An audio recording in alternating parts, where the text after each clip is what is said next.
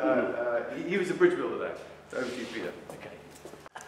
Thank you very much indeed. Thanks, Alex. Okay, um, so um, I will try to be as punchy and entertaining so that you don't wish you were upstairs listening to the wonderful voices. My voice isn't as good as that now.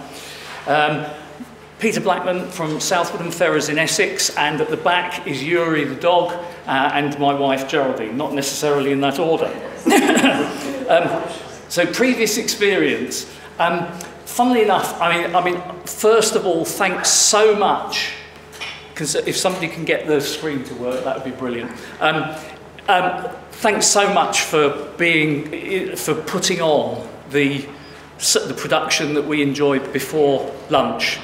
That was amazing. It was spectacular. It was awe-inspiring. It was moving. It was just wonderful.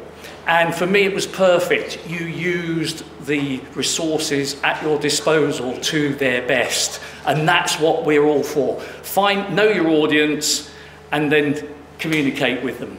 Funnily enough, and the reason I say this, in 1972, I, I, I was involved in writing my first ever passion play, and that was in a Pugin chapel. Um, there are too many ex Catholic seminarians around. I'm afraid I was one. Um, it was St Edmunds at Ware. Nothing like as big as this, but rood screen, etc. We wrote it for the place. Um, I then met my wife, and two years later, I was no longer a seminarian. I was a married man with a wife, and we were collaborating and writing a play, and we've written a number of things since. Um, I describe myself as National, National Youth Theatre audition failed. um, and then had other sort of dramatic sort of experiences. Um, I was director of the church's media council for five years. I was the religious advisor on the Manchester Passion, which some of you will remember was the most spectacular production the BBC has ever put on and technically the most demanding. You had music coming from a mile apart, having to be coordinated, and there was a thing the vast majority of the crew and the, the people who were in it were not Christian. And I can assure you, the after show get together, everyone had been touched by it. So it, it does. Um, I was then with the voice of the listener reviewer. I mention this because Alan Bookbinder was the head of BBC Religion and Ethics. He's now the head of the Sainsbury Family Trusts, of which Jerusalem Trust is one. Hence the connection.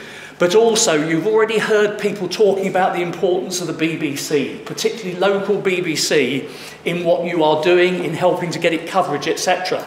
I'm wearing a badge that says Save Our BBC. Next week, I shall be launching a national campaign to save our BBC. Its charter is up for renewal, its licence fee up for renewal. Local broadcasting has been hit and it could be absolutely decimated if we don't get the right answers.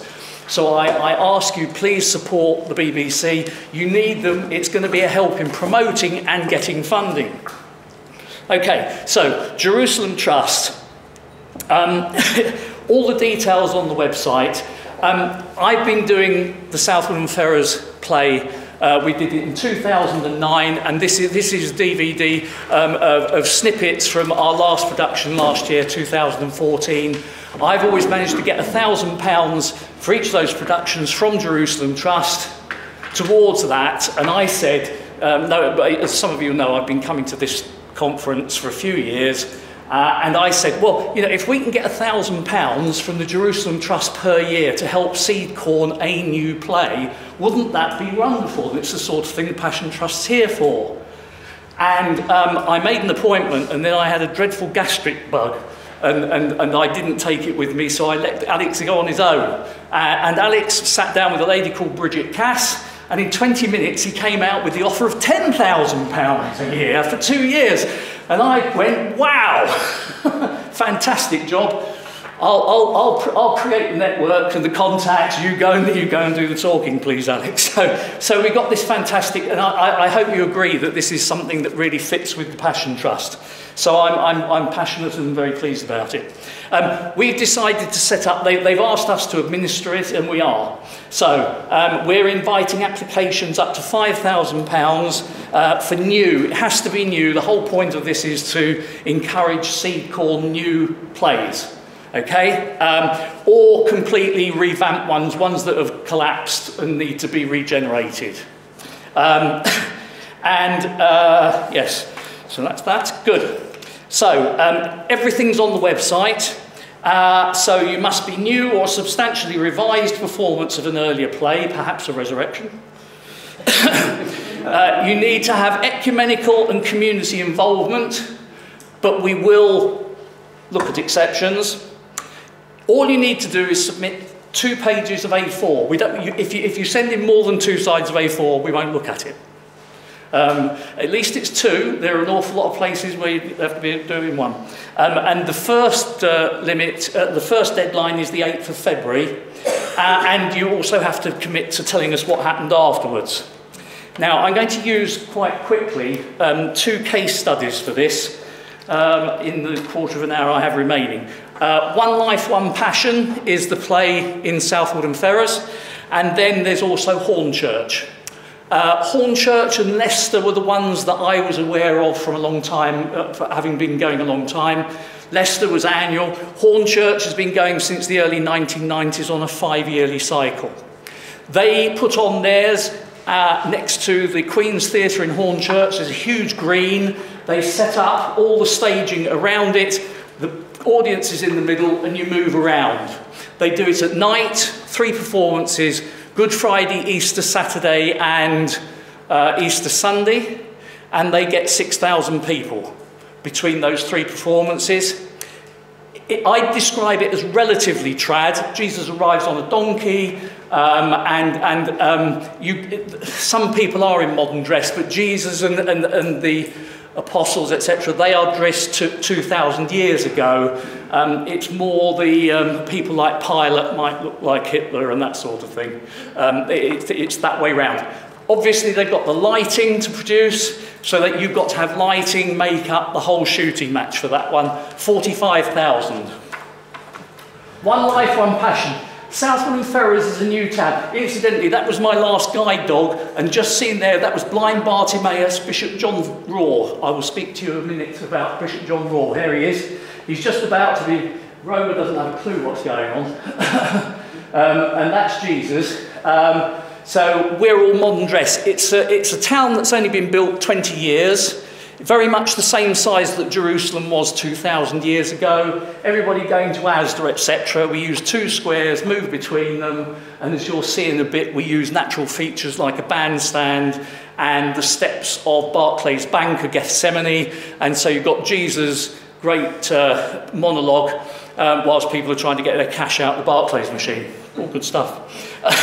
so, um, those are the two, oh, and ours, we did one performance in 2009 on Good Friday. Um, instead of the March of Witness, don't have a March of Witness and a Passion Play on the same morning, no. These are far more effective. The Marches of Witness, certainly our way, have gone downhill, I'm afraid. Um, and this, it, it, it was a bit of a, it wasn't, it wasn't satisfactory from the point of view of the people putting it on, and there were some people who couldn't get there because they had church commitments. This time we did two performances. There's no point in doing it in the middle of South Woodham Ferrers on Easter Sunday because it's, the one, it's one of the two Sundays in the year that Asda can't open. And so there's nobody there. so we just do two, much more satisfactory. So we have our dress rehearsal on Maundy Thursday night before it gets dark, and then on uh, Good Friday and Easter Saturday morning, 11 till 12.30. Takes about three, uh, an hour and a half. And our budget, £9,000 got us through one uh, performance in 2009, 14,000 we did the whole shooting match for in this last year. The vast majority of that going on, on audio and staging and security because we rig and it stays until we de-rig. Um, best story, an hour before the 2009 performance, the fish and chicken delivery van pulled down the wiring and we were all going bananas that we weren't going to be able to hear a thing. Um, I, I, have to say, I have been to a, a, a new play, a new passion play, where the production was fantastic, the acting was brilliant, the costumes were phenomenal, the staging was brilliant, but you couldn't hear because the audio was rubbish. Don't bother. They lost half their audience within the first 15 minutes. So you've got to get your priorities right. We don't, we, we don't spend a lot on costumes, we don't need any lighting, we don't need any makeup. Um, and, and hopefully you can get the gist of it. This is the main square, and that's the bandstand, and Barclays Bank's over there, and you do everything in, and you push everybody out the way, and you've got stewards to do it. 2009, we weren't quite as ready for the numbers that turned up, and we had we, we, we only hit one person with the crossbar of the cross on the way round, but fortunately the bunch of flowers afterwards put that right. anyway, right, so two pages. What are you going to play? Well, you're going to tell us what, what the play is, what its name is, make a case for it, tell us why it's a good idea to do it there, and who's going to be, in, who's going to be involved in organising it. Then the performance details. All of this is on the website, but you may not have seen it. So what's the vision? Uh, what approach? Traditional, standard. How does this fit your place?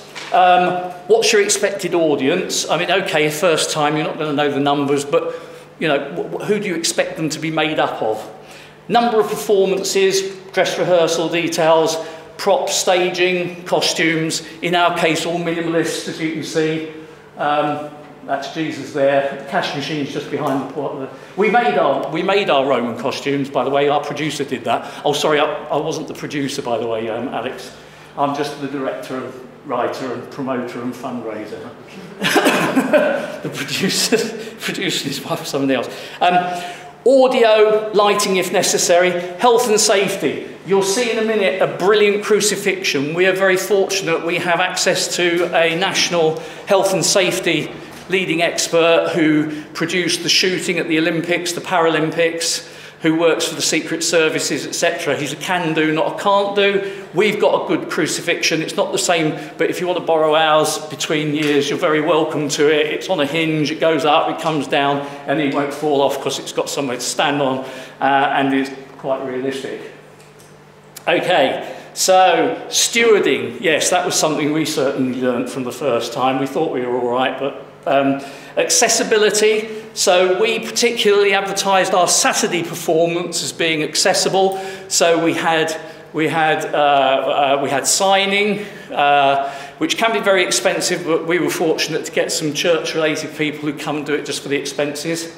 Um, but you can spend an awful lot on that. Audio description for people who are blind, um, uh, wheelchair access, stewards around who are going to help, people seating for frail, that sort of stuff. So um, I'd suggest you try and do that for, if you're having more than one, try and, if you can do it for all of them, great. Here we go, there he is, up he goes. And as I was saying earlier, at the dress rehearsal, one of the children underneath um, started crying, and one of the mothers comforted her, and she turned around and said, I'm acting. uh, we had a female Caiaphas. They won't let me have a female Jesus yet, but one day uh, that, that always bring, that, that is quite tearful. He then comes down and goes on a, an undertaker's uh, trolley. And we get him back in via road to Emmaus. Taught well, we walk back from this square to another square, and we've written in that. Scripts available. Um, Hornchurch gave us our script. We amended it. We've got um, people were talking about using children. We've actually got a narrator and we've got two choruses. So we've got a Jerusalem 2,000 year ago chorus and we've got a South Woodham Ferrers town today chorus who are just going to go to Asda shopping and tomorrow they're going watching the football and what's this Good Friday thing all about. And they ask the questions, so that's how we do it.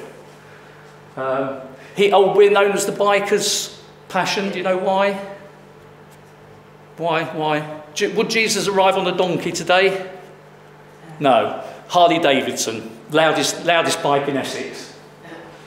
So uh, that, that's where we go. Okay, um, I think that's all you need to cover. Yep. Oh, no, sorry. Um, children and, and vulnerable persons safeguarding DBS. You need somebody who's going to do that. What are you going to do about refreshments? What about outreach? Um, we always invite people back for tea and coffee and, and, and cock cross buns afterwards. Um, this year, um, uh, one of the churches, we've only got five churches in South Woodham and we do it all through the churches together uh, uh, in, in the town. Uh, and one of the churches put on a gazebo for people who wanted to go and talk to people. But we let people come to them, we don't go and accost people. Um, one source of funding, you do have buckets at the end, it's free.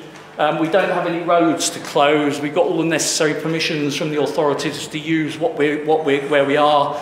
Um, the police know all about it, etc., etc. Um, we do have a bucket collection at the end. We do have a programme. Some people won't. We again try not to finish off with applause. Um, but some people want to, some people want to give. Um, in fact, we get over £1,000 from the bucket collection, and in fact, we've got £1,500 in the bank towards next time. As we had after the first one, which gets us started.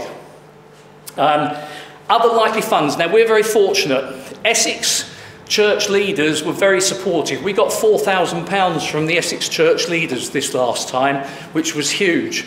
Now, Bishop John Wraw um, was the new Bishop of Bradwell, and he got involved and wanted, he was, he was going to be doing a visitation to the Anglican parish. Um, I think I've got five minutes. That's right, that's right, it's okay. Whenever Lindsay moves, I get worried. Anyway, I'll go back over here. um, so, um, Better time for question and answer. that'll have to come after tea. Oh, come on. Come on, you cut me down. anyway, right, um, yes, Bishop of, Bishop of Bradwell. Very popular man, one of the three suffragan bishops in the Chelmsford Diocese, wanted to be in it, took the part, fantastic. It was very much, that play was very much part of the town's experience of worship of Holy Week last year. And afterwards, he and I had the vision that we want to try to have a passion play in Essex every year. So this year we got Horn Hornchurch, last year got South Woodham, and we want to try and have another one, so perhaps in Harlow or Basildon each year. Unfortunately, John Raw very quickly after that um, um, sustained uh, a very nasty aggressive cancer. He was booked to come, but unfortunately he's in treatment at the moment. He would make a very good patron for the Passion Trust. Um, so long as he makes it, because quite honestly, he may not.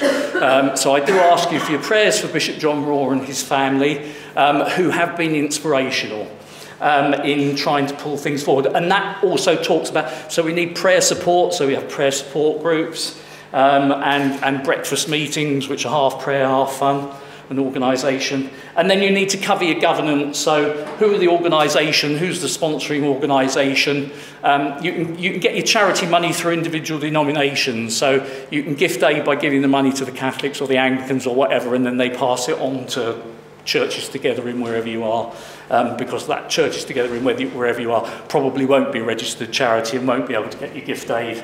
And who's going to have legal responsibility? You do need insurance. Most church insurances will cover public events, and that's how we get ours. The only two things they won't insure for us are the crucifixion and the Harley Davidson. Fair enough, Jesus knew he was quite happy um, because it was all practiced and safe. Um, the rest of it was absolutely covered, and we had full public liability. So, and who are the key personnel? The script writers, directors, producers, etc. So, where's the expertise that's going to get this going? Feel free to apply if it's just an idea. Say, for argument's sake, you wanted two and a half thousand. We might say to you, right, we'll give you a thousand to start with to enable you to do your feasibility studies. Come back to us and show us later that it's going to happen, and we'll give you the other 1500. That's what, you know, we want to help seed corn new plays to happen. Um, so there are, there are examples of a successful application and report on the website for guidance with bits redacted, but I'll give you a clue. They're the ones from us. um, so my final remarks are we're very, I think you'll find everybody here who has their different experiences is more than happy to help anyone else. We're all happy to share our scripts. Uh, I'm happy to come and travel and sit down with you and work as a consultant, and it won't cost you more than my travel and a bed for the night. Um, I really don't. And that, to a certain extent, was why I wanted that. I saw that thousand pounds that my vision for the start was to enable someone to get started. And you've got the name of Jerusalem Trust behind you, which means you can go to other people and say, and we've got the support of the Passion Trust and the Jerusalem Trust. And, you know, we're official, we're on the map, we know what we're doing, and that in itself will get you. Our way of getting money, I'm not a great one for jumble sales and coffee mornings. I find out who are the key people in each congregation who've got the money and, and, and target them. So I targeted individuals and I get most of my money that way. But obviously, I've got it through Jerusalem Trust, churches together, the individual denominations of some of the churches that are involved, and, and, then, and then some wealthy individuals. Now, I'm a young town of, 3, of, th- of 30 years. If you're in a place that's an established market town, you're going to have some local people who've got a bit of money. And hopefully, and you can do it for about, you know, you can do it for 15,000 quid, which is not a huge amount.